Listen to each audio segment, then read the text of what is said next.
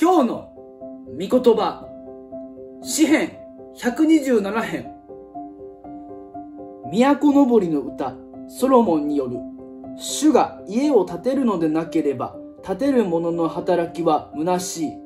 主が町を守るのでなければ、守る者の見張りは虚しい。あなた方が早く起き、遅く休み、ロークの糧を食べたとしても、それは虚しい。実に、主は愛する者に眠りを与えてくださる。見よ、子供たちは主の賜物。鯛の実は報酬。若い時の子供たちは実に勇士の手にある矢のようだ。幸いなことよ。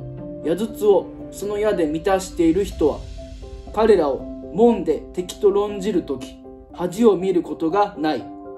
私たちは一日を通して様々なことをします。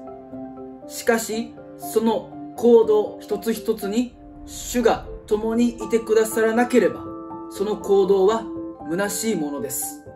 今日一日も私たちが一日のうちでするすべての行動一つ一つを神様の御臨在の中で神様と共に歩んでいきましょう。All for Jesus!